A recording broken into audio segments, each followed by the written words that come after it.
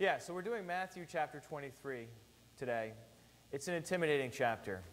It's an intimidating, especially for me, but I, I think you will find it intimidating as well. It's a, it's a kind of chapter I, I don't really ever want to preach on. Um, and that's kind of why I felt I should. so uh, we're, we're going to we're gonna do it. It's, it's going to be great. Um, this, is, this is the one chapter in the life of Jesus according to Matthew. You know, you have these four different gospels, uh, but especially in Matthew, where Jesus just cuts loose. I mean, he lights up the Pharisees. There is no, there's no like uh, finesse. I mean, it's just, and uh, so let's let's just dive in and, and and see where it takes us and see what we can learn from Jesus. Matthew chapter 23, verse 1 says Then Jesus said to the crowds and to his disciples, The scribes and the Pharisees sit on Moses' seat, so do and observe whatever they tell you, but not the works they do. For they preach, but do not practice. They tie up heavy burdens, hard to bear, and lay them on people's shoulders, but they themselves are not willing to move them with a finger. Verse 5 They do all their deeds to be seen of others, for they make their phylacteries broad and their fringes long, and they love the place of honor at feasts and the best seats in the synagogues, and greetings in the marketplaces, and being called rabbi by others. But you are not to be called rabbi, for you have one teacher, and you are all brothers. And call no man your father on earth, for you have one Father who is in heaven. Neither be called instructors, for you have one instructor, the Christ. The greatest among you shall be your servant. Whoever exalts himself will be humbled, and whoever humbles himself will be exalted. Let me pause there. Just to start off, the, the scribes and Pharisees, we don't, we don't have these kinds of people today. Uh, so maybe just a couple of words to, just, to, to talk about who these people were. A scribe is a scholar, essentially what a scribe is. It's somebody who had, the, uh, had, had taken upon themselves to learn how to, to write which was not a common needed skill in the ancient world. And so most, most people couldn't read anyhow. So being able to read and write wasn't all that significant. And literacy rates are, are pretty much guesses for the ancient world. But something like maybe 10% in a, uh, in a big city uh, could read.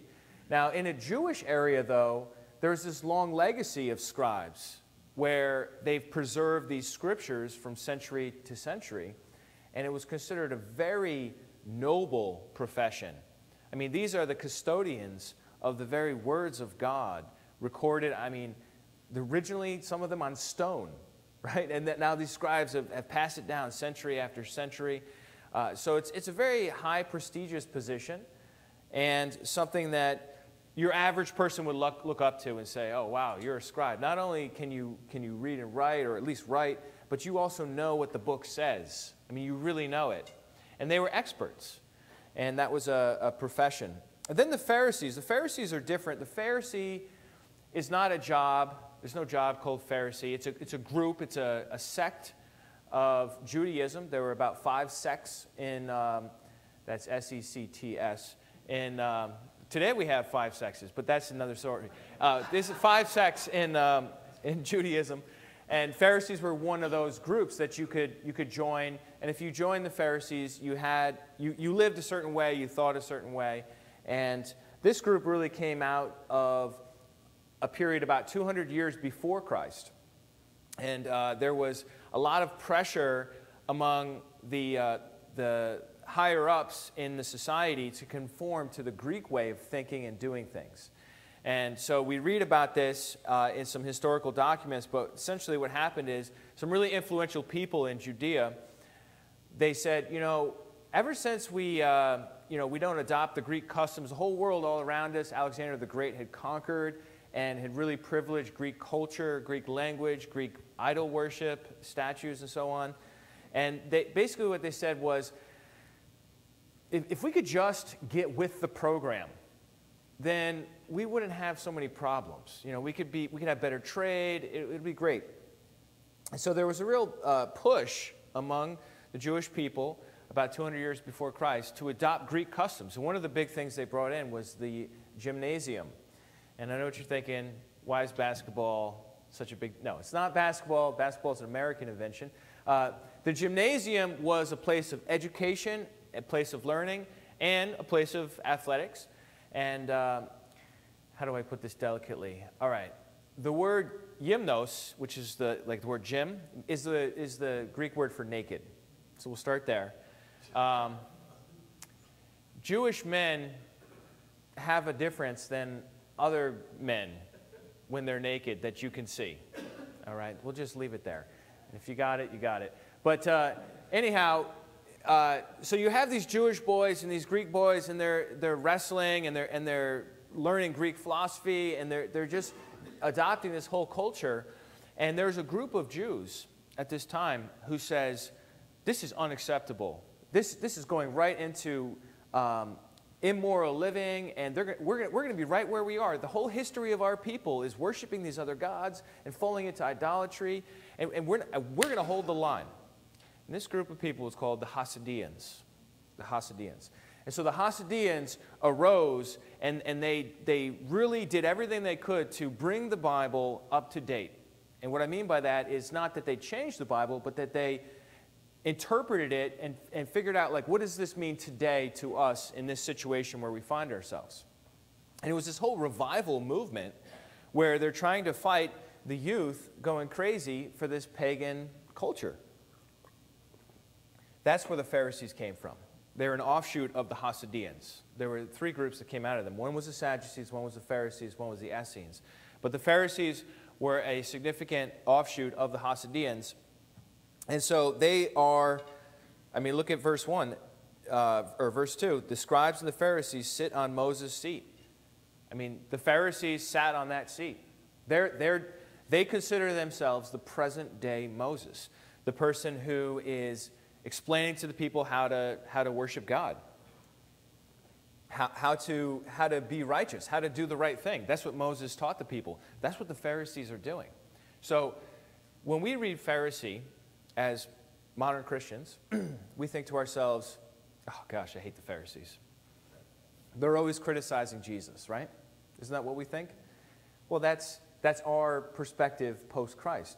But in this time here, people would have looked up at the Pharisees. They would have seen their, their distinctive clothing, their broad, um, what was that? Uh, yeah, their broad phylacteries and their, uh, their extra long fringes on their garments, they would have thought, oh man, those Pharisees have it together. Those Pharisees, you know, maybe someday I could become a Pharisee. Maybe I could join, maybe they would have me. so that's, that's how people would think about the Pharisees. There's a large number of Pharisees. Their focus is on the law. It's not so much on the temple and other things.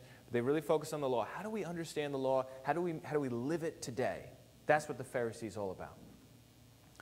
So when Jesus says these things, it is just jaw dropping. It's just like, what? I mean, he's picking the holy people in the society and saying, do what they say, verse 3. So do observe whatever they tell you, but not the works they do. For they preach, but they do not practice. Obey them, but don't imitate them. Right? Do you, you see how that works? They preach, but they don't practice. Ladies and gentlemen, this is the definition of hypocrisy. This is what hypocrisy is. According to Merriam Webster, you ready? This is the official definition. The behavior of people who do things that they tell other people not to do. That's what a hypocrite is. Someone who does the things they tell other people not to do. Um, verse 4 They tie heavy burdens they tie up heavy burdens hard to bear and lay them on people's shoulders, but they themselves are not willing to move them with, the, with their finger. So Jesus is, is looking at this group of people, and he's not, he's not just alone in this scenario. He's not like writing this in a room and, you know, in, in safety. I mean, the Pharisees are there, and he's talking to a crowd of people, and his disciples are there. So this is a whole mixed audience. And he, and he says to them, Look, these guys, listen to them, but don't follow them. And, uh, and then he says to them, These guys, you know, they, they put all these burdens on you, Uh, this, this could have been a, a reference to what's called a fence law. Do you know, are you familiar with that, a fence law? Fences are, fences are great, like if there's, uh, you, you, ever drive on a, a, a steep road where uh, off, just past the road, past the shoulder, there's a drop off? Have you ever, yeah, and there's a guardrail there so that if you got a flat tire or if there was an accident, you would hit the guardrail instead of crashing at the bottom, right? So that's, that's like a fence. You know, like you're not actually in danger until you cross over, but you don't put the fence right at the edge. You, you, you move it back just a little bit so that there's, there's some leeway there. And the Pharisees would make all these fences. And so uh, one, of the, one of the rules, one of the laws was you, uh, you, can't, you can't work on the Sabbath day, right? So, but what if you're, uh, what if you're walking along and you're, uh, you're chewing a grape? You know, you got a little grape in your mouth, you're chewing, oh, it's a seed. So you spit out the seed. Is that sowing? Right? I mean, is that sowing? Because, I mean, you, you, you've got moisture, you spit it, it's in the dirt, it could very well grow into a grapevine. I mean, right? So, all right, no, no spitting on the Sabbath. See, if we make the fence law right there, you're never going to get out into the farm and actually start picking grapes or, or doing other stuff, right? So the fence, the fence is right here. It's like no, no spitting anything, okay? If you don't spit anything, you'll never spit a grape seed. And if you don't spit a grape seed, you won't be able to break the actual. So they, they're erecting these fence laws around these other things. And uh, verse 4 they tie up these heavy burdens, hard to bear, and lay them on people's shoulders, but they themselves are not willing to move them with their finger. They're ready to tell everyone what to do and what not to do, but there's no compassion. There's no, let me walk alongside you here. This reminds me of two, uh, two examples in Christianity today where we're doing, I, th- I think, we're doing this well. Um, and the first is these uh, crisis pregnancy centers, all, all, across, over a thousand of them all across the United States. And uh, what they do is have a woman come in uh, who's considering abortion, and, and they'll show an ultrasound and they'll talk to her. And uh, what they'll say to her is, Look, whatever you need, we're here for you. If you need money, we'll, we'll help you get on a government assistance. We'll uh, you know, if you want adoption, we'll, we'll connect you with the adoption agency. If you need uh, diapers, if you need prenatal vitamins, whatever you need, we will find a way to get it for you. And they, they don't say to the, the woman in crisis, they don't say to her, don't get an abortion, it's sin, you're going to hell. Instead, what they say is, don't do this, and we're here for you, and we will help you carry this burden so that you can, you can make it all the way through.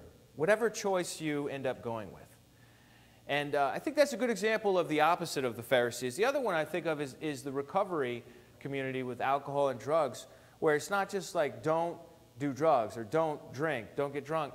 It's, it's like, look, don't do that, but we're here for you. We have sponsorships, we have meetings, and we're going to walk with you through this so that you can get to the other side.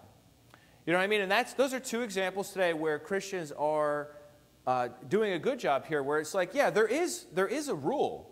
And Jesus is not saying, hey, there's no rules. Let's like all party and forget everything. No, he's not saying that. He's just saying uh, the rules, the rules uh, are, are fine. It's just you got to have compassion. You know what I mean? And offer to walk alongside somebody. It's easy to say no. It's hard to say, I'll walk with you. Uh, let's keep going here. Verse 5 For all their deeds, they do all their deeds to be seen by others. For they make their phylacteries broad and their fringes long. And they love the place of honor at feasts and the best seats in the synagogues and the greetings in the marketplaces and being called rabbi by others. Um, rabbi, rabbi. You, you, you say to somebody, oh, hey, how, how, are you, how are you doing? You say their name. You say, well, it's actually Dr. So-and-so, excuse me. Or it's, it's your Reverend So-and-so. Or um, what other titles we have? Your Honor. You know, we have it a lot in the government. You know, you know officer, and you know, don't you ever address a, a, police officer just by like the name on the tag? It's officer. You know, I mean, we, we have this in our society today, and it, it, the issue is not so much the title for respect. The issue is the heart of the person who who's carrying the title. Okay. Um, For example, in 1 Timothy 5 7, uh, or 517 it says let the elders who rule well be considered worthy of double honor especially those who labor in preaching and teaching. And then 1 peter 2.17 says honor everyone. How about that? Love the brother, uh, brotherhood fear god honor the emperor. Let's go over to matthew 6 keep your finger there in 23 we're going to be back uh, we're going to get to the, uh, the more intense stuff in just a minute here. But uh, this is an important this is an important subject the, the, the attitude you have about yourself when it comes to how people treat you and why you do what you do. This is, this is really the core, one of the core messages that Jesus, our rabbi, taught us. And it says in Matthew 6 Beware of practicing your, in verse uh, 6, beware of practicing your righteousness before other people in order to be seen by them, for then you will have no reward from your Father who is in, in heaven. That was chapter 6, verse 1. Sorry about that. But the, the point is, don't practice your, your righteousness to be seen by people. That's not why we do the right thing. Why do we do the right thing? It says right here, your Father who is in heaven. That's why we do the right thing. Look, you can look exactly the same. You can have two people do the right thing, and like Terry's looking, and Blake's doing the right thing, and Maria's doing the right thing, right? And one of them is doing it because Terry's watching and the other one's doing it because God's watching. It might look the same on the outside. It's hard to see that, right? But God sees straight to the heart. And Jesus, Jesus, look at this, verse 2. Thus, when you give to the needy, sound no trumpet before you, as the hypocrites do in the synagogues and in the streets, that they may be praised by others. Truly, I say to you, they have received their reward. But when you give to the needy, do not let your left hand know what your right hand is doing, so that your giving may be in secret, and your Father who sees in secret will reward you. I mean, there's a way to give that lets everyone know, right? There's a, there's a way to give, and, and uh, I, have even been to some, some churches like this in the, in the South where you, you, uh, you wave your offering in the air and stand. And then you march it to the front, and there's a big march, you put it in the bucket. Everybody knows who's giving. I don't know what that is. I mean, he says, don't let your left hand know what your right hand's doing. Right? I mean, in other words, it's between you and God. If you're going to give, if you're, gonna, if you're not going to give, then don't give. If you're going to give, then you do it because of God. You don't do it so that Donna thinks, oh, well, you know, I'm going to hit this row. They, there there's some big givers over here. Right? You know, like that's not, that's not the mindset that we're, we're to have. We're not doing it for recognition and for people. You do it for God. And if you do it for God, that's what matters and He'll take care of you. And if you do it for people, Jesus says, I hope you got a good, uh, a, I, hope, I hope you got a good reward for that, because that's it. You're done. And then verse 5 When you pray, you must not be like the hypocrites, for they love to stand and pray in the synagogues and at the street corners, that they may be seen by others. Truly, I say to you, they have received their reward. But when you pray, Go into your room and shut the door and pray to your Father who is in secret, and your Father who sees in secret will reward you. So when we pray, the reason why we pray is not so that people think we're so spiritual. We don't pray so that everyone says, oh, that Jim Bodner, gosh, he, that man can pray. That man can pray. When he prays, whoo! Now, look, Jim, you may have that prayer, but that's not why you should do it. You do it for God, right? We pray for God. We don't pray so that people will look at us and say, oh, wow, you're so eloquent. That's not why we do it. Look, if you want to be eloquent or not eloquent, that's not really what matters. What matters is your heart when you do it needs to be for God. And then the last example, verse 16, Jesus gives in the Sermon on the Mount here. And when you fast, do not look gloomy like the hypocrites, for they disfigure their faces that their fasting may be seen by others. It's just so silly, isn't it? This is what kids do, isn't it? Say, what's going on? I don't know. I'm just so hungry. My cheekbones are showing. right? You're just trying to like exacerbate it so that everyone everyone sees. You know, you walk around, you got it all sucked in. You're like, two more days, I'm gonna fast, right? I mean, that's not what it's all about right? I mean, it was really, what's really bad is uh, to arrange it so that you're at a dinner right? And you've been invited over, and of course, you don't decline gracefully. You go. And uh, the, the food's passing around, and you just you don't say anything. You just don't take anything on your plate. And uh, you know, then the host says, "Oh, you know, what's what's going on?" Well, you know, fasting. I didn't want to tell anybody. Look, if you showed up to a dinner and you're fasting, you did want to. so that's not why we do it. We do it for God.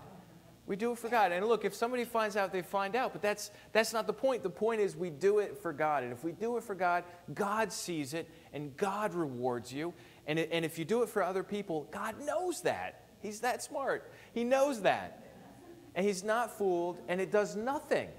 Whatever spiritual insight you were looking for in that fast, heaven is bronze to you. He's not going to answer. He has no interest because you're just doing it to be seen. All right, look, look back at Matthew 23. So that's what Jesus is talking about here with this whole business of um, being called rabbi and, and wearing these big phylacteries, which was like a, a, a prayer box that they wear on their head. And, and these guys, they get the really big ones. You couldn't miss it and uh, they wore the special uh, clothing. And, you know, there could be a time for special clothing. I don't think that's necessarily sinful. But again, it's the heart. Are you, are you doing it to respect God? Or are you wearing that so that people will say, oh, you must be a minister? See how he's wearing that uh, tie? we don't really have like the big robes like in, in other cultures, but um, all right, look at verse 13. Now we get to seven woes. Are you ready? Okay, this is just, just to clarify, this is not like a woe for a horse. Okay, woe for a horse is like, whoa, boy, slow down. This is, uh, this is an intense uh, warning. Okay, like, whoa, serious. Okay, you ready? Verse 13. I'm just going to, what I'm going to do is just read through this whole thing, and I, I want to talk to you about the historical context, and then we'll go back through it. Okay? So, verse 13. Woe to you, scribes and Pharisees, hypocrites! For you shut the kingdom of heaven in people's faces, for you neither enter yourselves nor allow those who would enter to go in. Name's fighting words, right? Uh, look, look at uh, the verse before that, verse 12. Whoever exalts himself will be humbled, whoever humbles himself will be exalted. Look at uh, verse 5. They do all their deeds to be seen by others. Before this point, Jesus is talking to the crowd, he's talking to the people about the Pharisees. At this point, in verse 13, who's he talking to? He knows they're in the audience. He can see their big robes and their fancy, you know, get up, and he, and he, he looks right at them and he says, Woe to you, scribes and Pharisees. He calls them out in a mixed crowd. This is intense. Verse uh, 14, second one Woe to you, scribes and Pharisees, hypocrites! For you travel across land and sea to make a single proselyte, and when he becomes a proselyte, you make him twice as much a child of hell as yourselves. Whew. Verse 16 Woe, woe to you, blind guides, who say, If anyone swears by the temple, it is nothing. But if anyone swears by the gold of the temple, he is bound by his oath. You blind fools, for which is greater, the gold or the temple that has made the gold sacred? And you say, If anyone swears by the altar, it's nothing. But if anyone swears by the gift that is on the altar, he is bound by his oath. You blind men, for which is greater, the gift or the altar that makes the gift sacred? So whoever swears by the altar swears by it and everything on it, and whoever swears by the temple swears by it and by him who dwells in it, and whoever swears by heaven swears by the throne of God and by him who sits upon it. Verse 23 Woe to you, scribes and Pharisees, hypocrites! For you tithe mint and dill and cumin, and have neglected the weightier matters of the law, justice and mercy and faithfulness. These you ought to have done without neglecting the others. You blind guides, straining out a gnat and swallowing a camel. Verse 25 Woe to you, scribes and Pharisees, hypocrites! For you clean the outside of the cup and the plate, but the inside are full of greed and self indulgence. You blind Pharisee! First clean the inside of the cup and the plate that the outside also may be clean. Verse 27 Woe to you, scribes and Pharisees, hypocrites! For you are like whitewashed tombs, which outwardly appear beautiful, but within are full of dead people's bones and all uncleanness. So uh, you also outwardly appear righteous to others, but within you are full of hypocrisy and lawlessness. Verse 29. Woe to you, scribes and Pharisees, hypocrites! For you build the tombs of the prophets and decorate the monuments of the righteous, saying, If we had lived in the days of our fathers, we would not have taken part with them in shedding the blood of the prophets. Thus you witness against yourselves that you are the sons of those who murdered the prophets. Fill up then the measure of your fathers. You serpents, you brood of vipers. I thought only John the Baptist said that. Oh, no. You serpents, you brood of vipers, how are you to escape being sentenced to hell? Therefore, I send you prophets and wise men and scribes, some of whom you will kill and crucify, some you will flog in your synagogues and persecute from town to town, so that you may come on, so that on you may come the righteous blood shed on earth. All the righteous blood that will be shed on earth, from the blood of the righteous Abel to the blood of Zechariah the son of Berechiah, whom you murdered between the sanctuary and the altar. Verse 36 Truly I say to you, all these things will come upon this generation. O Jerusalem, Jerusalem, the city that kills the prophets and stones those who are sent to it. How often would I have gathered your children together as a hen gathers her brood under her wings, and you were not willing? See, your house is left to you desolate. For I tell you, you will not see me again until you say, Blessed is he who comes in the name of the Lord. Now, reading this, you might get the impression that Jesus is just angry. He's just lost it. I mean, he is just livid at these people. They don't believe in him. They criticize him. Wherever Jesus goes, he preaches to the, to the crowd, to like farmers and just fishermen, regular people. And then the Pharisees come in afterwards and they say, Did Jesus wash his hands before he ate, according to the tradition of the elders? These people, they don't know, you know, they, they, they don't, they're not experts on these things. Jesus, that's not what's going on here. Jesus isn't just mad. He's not just mad. Jesus knows something about what is to come. Um, look at just the next verse here. In, uh, it's actually a chapter over, but it's, the original did not have chapters in it. Jesus left the temple, was going away when his disciples came to point out to him the building, buildings of the temple. But he answered them, You see all these, do you not? Truly I say to you, there will not be left here one stone upon another that will not be thrown down. See, what Jesus had just done in prophetic, uh, classic prophetic manner is he, he, had, he had called a curse down upon this group of people for their hard heartedness. Now, these guys all know, for the record, that there is a way out. There's always a way out. It's called repentance. I mean, you remember Jonah the prophet? Jonah didn't preach to them, well, you guys should really repent. No, he said in 40 days you're going to be destroyed. Period. There was no unless you repent. And then they repented, and then God saw their repentance and they weren't destroyed. I mean, they, these guys have the Bible, they know that. So Jesus, he is preaching it as hard and as, as strong as he can because he knows what's coming. He knows what's coming. In um, uh, verse 36 there, he says, Truly I say to you, all these things will come upon this generation. And as it turns out, this nobody's really sure about the timing of everything, but Jesus' ministry is in the early 30s, typically. It's definitely between 26 and 36 for sure, because that's when Pilate was in charge. But uh, probably the early 30s. So in the year 66, there was a great Jewish war, which would have been 30 to 35 years after Jesus said these words. There was a great Jewish war. The, the Jews fought the Roman Empire. And how it started is there, there were some anti-taxation protests. Not much has changed uh, in, the, in the world. Taxes are still controversial. Um, there's anti-taxation protests. So what the Roman governor did was, all right, you don't want to pay your taxes? He went into the temple and he took all the money out of the temple. He robbed the temple. And as a response to that, I mean, because that is the most offensive thing you could possibly do to the Jewish nation, is to rob the temple. So in response to that, they just went crazy and they killed, they surrounded and they killed the Romans in the, in the, in the garrison there in Jerusalem. And everybody fled, the, the Roman uh, officials fled, including uh, Herod Agrippa II, from Jerusalem.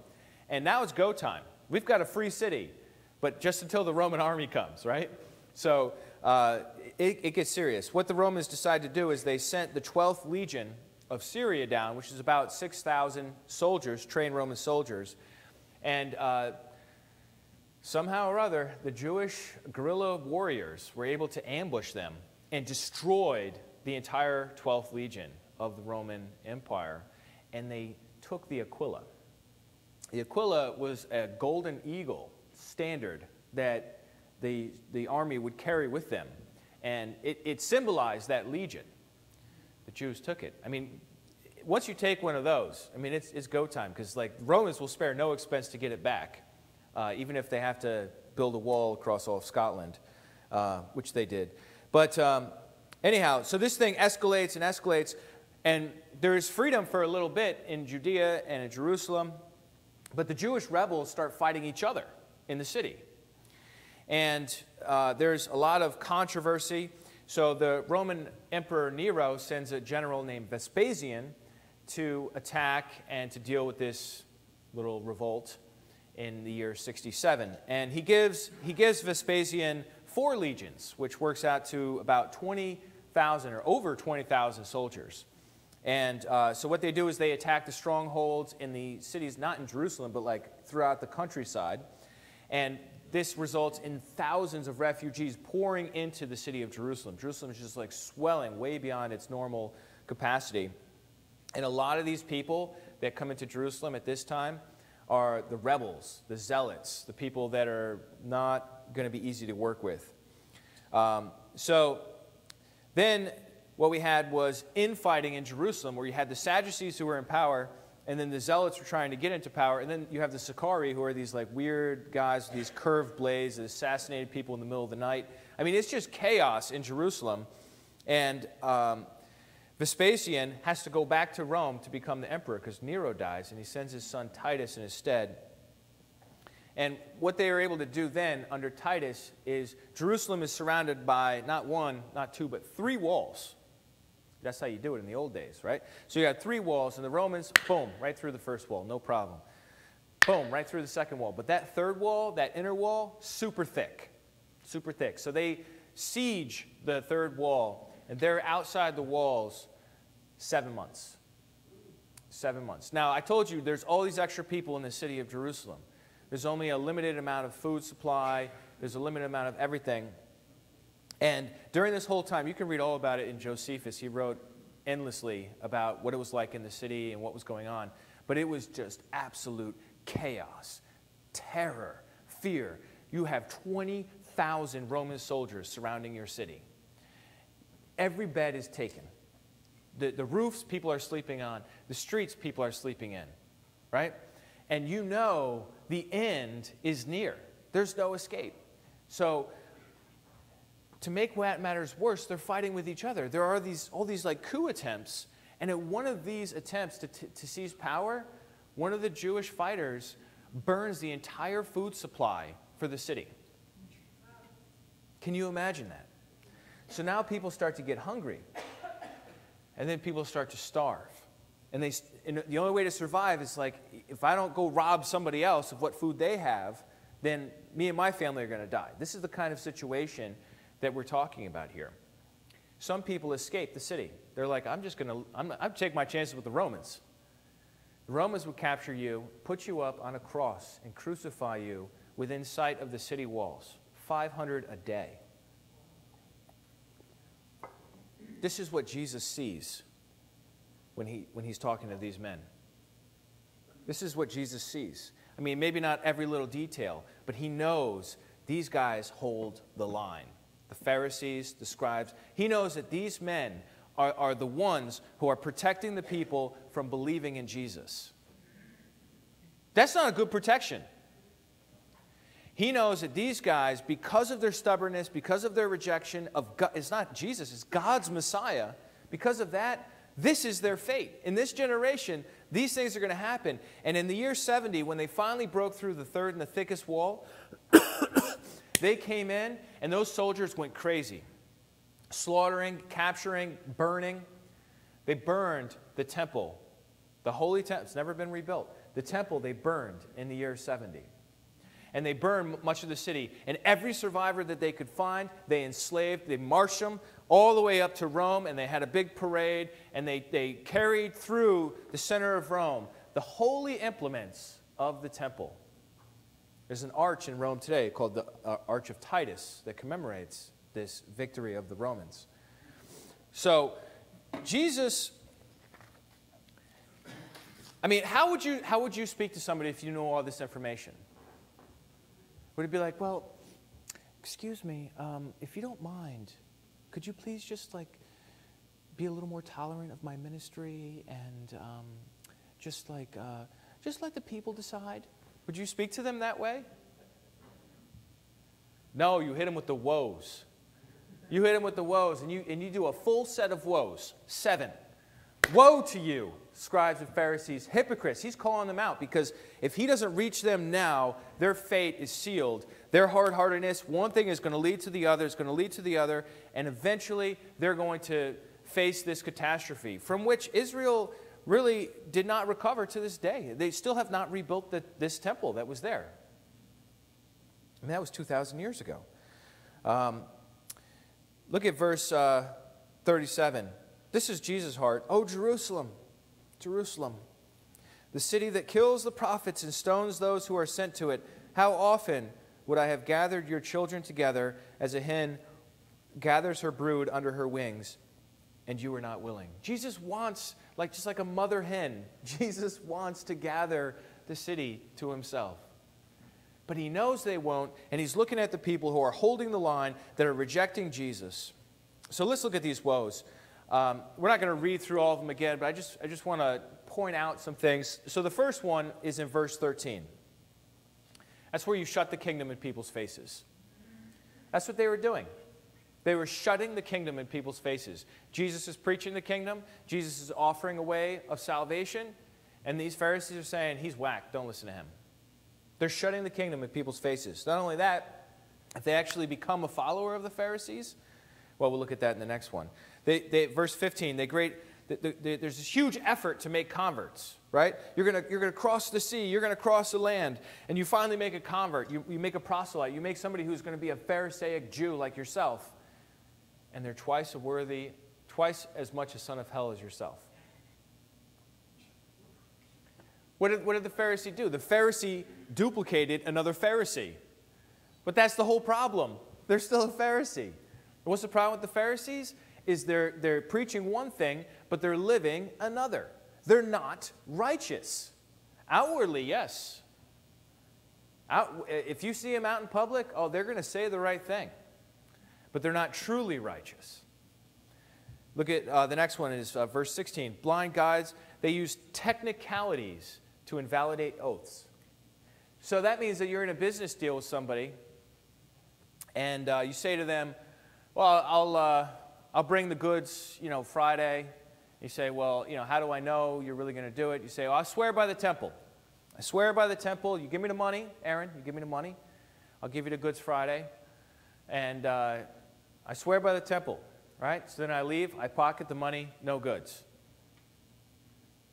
What is that? That's invalidating an oath, right? Well, it's uh, stealing, yeah. But then, I, but then I run into Aaron later on. He's like, "What's wrong with you? Like, why did you?" And he said, "Well, I didn't swear by the gold of the temple. I just swore by the temple. Like, who, who believes an oath on a temple, right? The gold is what makes a temple the temple, right? So that's that's what's going on. And so Jesus is like, "You guys are. I mean, this is what they're doing." They're ripping people off and they're saying, oh, it wasn't the gold. Oh, I swear by the altar. Maybe that worked a couple times. They say, no, no, no. It wasn't the gift on the altar. It wasn't the animal being sacrificed. It was just the altar.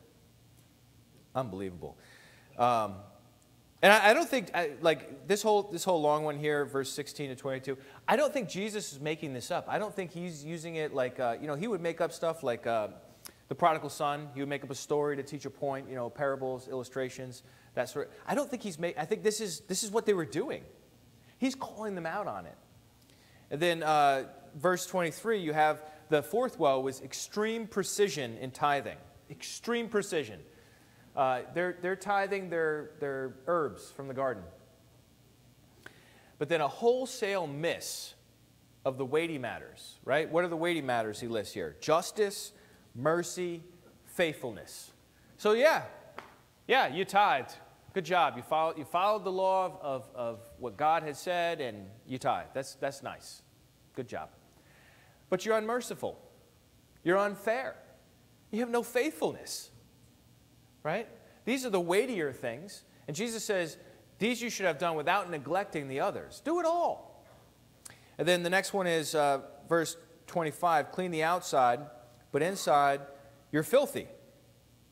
And he, he mentions greed and self indulgence. So that you look good on the outside, but inside, your, your motivators are like, I just need more. I need more. I don't have enough. I need more security. I need more enjoyment. Self indulgence. You're all about yourself. And then uh, number six, woe, verse 27 you're outwardly righteous, but inwardly you're hypocritical and you're lawless. Inside, you're lawless. And then the seventh woe, you memorialize the prophets, but then you persecute the prophets. So the dead prophets, you're like, oh, yeah, Isaiah, true prophet. But then John the Baptist, yeah, let's cut his head off. right? So you're going to, and you're, they're persecuting Jesus, and Jesus knows that a, a, after everything happens with him, he's going to send out prophets and apostles and people. And these are the very same people that are organize, going to organize the stoning, persecution, the imprisonment of these very people that they're memorializing the dead ones. So he calls them out on it.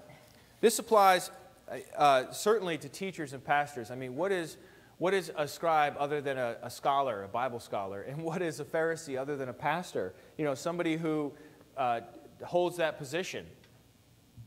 And so, like I said to you before, this weighs heavily on my own soul, and I, and I, I fall short. So, so don't look at me like that. I fall short you know and i need god's grace and you need god we, we need god's grace because we are not perfect we are not um, uh, the, the kind of people that look i mean look at us today. Sunday we smell nice we look nice. You know i've got this colorful tie my wife picked. You know you've got whatever you've got. And you know we look so good. But we can't see on the inside right? And certainly not when we're under pressure or stress or anxiety ridden and the sorts of things that we let fly in our minds or out of our mouths, right? I mean, that's, that's hypocrisy. We need to be, we need to be integrated wholes. On the outside, same as on the inside when it comes to these things. So let me, let me go through these again, because I think this is really important for all of us. I think it's really important for pastors and teachers especially, but it's, is important for all of us because it says here the, the first woe, you remember, is excluding people from the kingdom. Right? You shut people out of the kingdom. I think we do this. I think we're guilty. I think we see some random guy with, with, with tattoo sleeves and we say, oh, he's, he's not interested in the gospel. I'm not going to talk to him. Or we see some, some person in a business suit and we say, oh, they already have it all. They, they wouldn't, I, am not, I'm just going to keep my faith uh, private in this, in this conversation, even when the opportunity comes up. We're, we're going to exclude people from the. Are we going to do that? We're gonna, are we going to look at somebody and say, ah, they're, they're, they're too this or, or not enough that, and exclude people from the kingdom? We see a gay couple and we say, oh, they've already made their choice. I'm not going to share the gospel with them. What is that? We're going to exclude them from the kingdom. Ridiculous. We can't, we can't do that. Or what about uh, the second one there, which is making converts twice a child of hell. Uh, you know, we, we, we spend so much time trying to convert those who are closest to us. And that's understandable, right? Our family, our close friends. We would spend years and years trying to, trying to convert a high school friend to the faith, right? Meanwhile, if they ever actually come, they're coming because you, you, they know you really want them to come, so, you know, maybe that's, maybe that's good as, as a starting place. But if they come and there's no heart change, then what do we end up with? A critic, somebody who's, who's not even there for the right reason? You know what I mean? Like, that's what we need to do is see where God is at work, right? We need to see in our own lives where is somebody receptive to hear the message. I mean, keep praying for your family, obviously, you know, but what we need to do is be open to everybody. And then the number three one there, uh, technicalities to invalidate oaths, right? So we do this too. We, uh, we justify sinful behavior on technicalities. Uh, we're filling out our taxes. Dependents. Hmm. Well, there's the kids, but then there's that hamster, and uh, that hamster is pretty dependent on me. And then there's uh, the cat, uh, the dog. Well, the dog died, but uh, he was dependent for some time, right? And we'll come up with technicalities. I'm not saying you do that specific thing, but you know that's how the mind works. We rationalize. We come with, with technicalities to to cheat. Um, technically, it's not breaking the law if we do this, right? That's the same mindset that they're using. Or what about the uh, clean on the outside, number five there, but inside are filthy?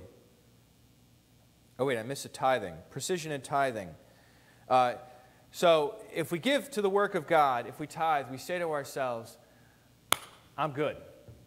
I'm good. I, I, can, I can treat my wife like garbage now because I tithed.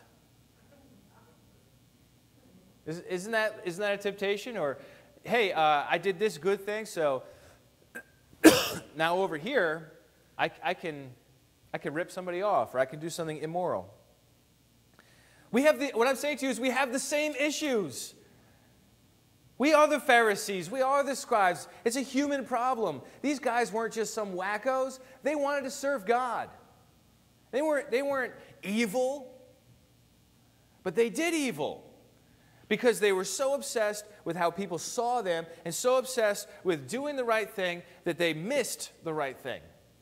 The right thing was looking them in the face, saying, Woe, woe, woe, seven times over.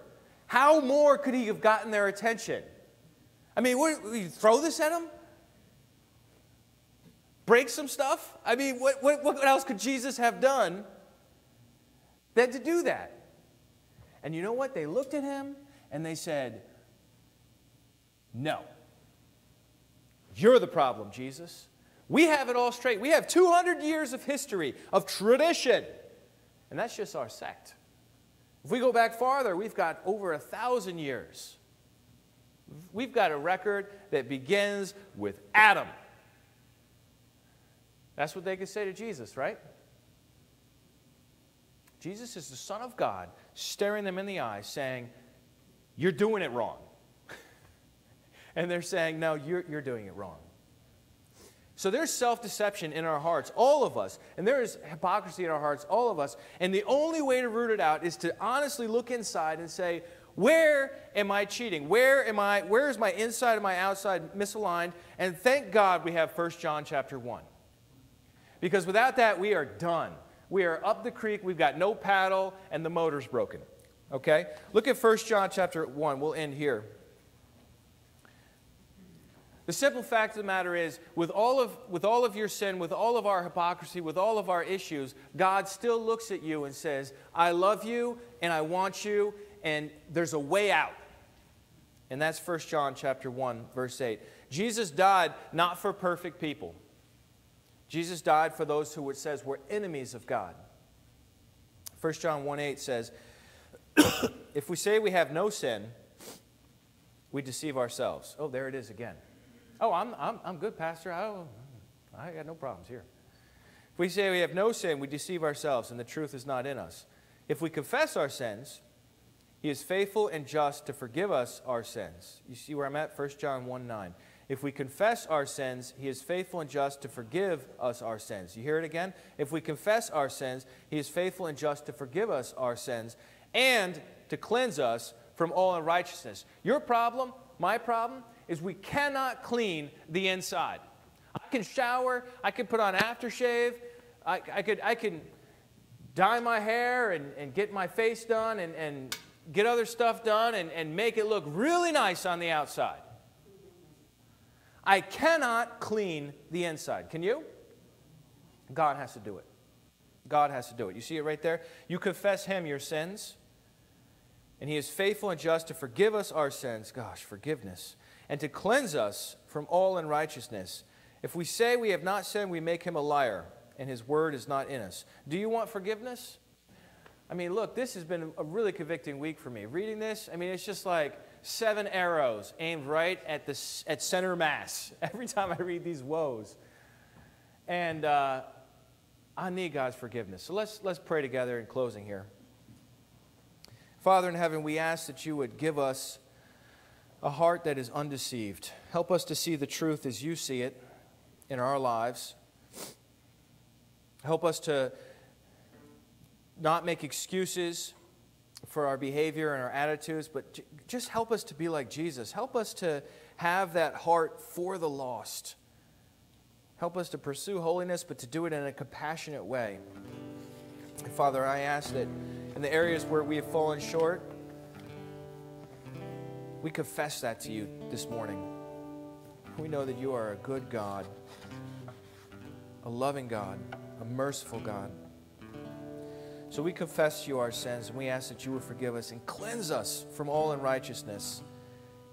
And only when you cleanse us can we be clean. So we pray that this morning.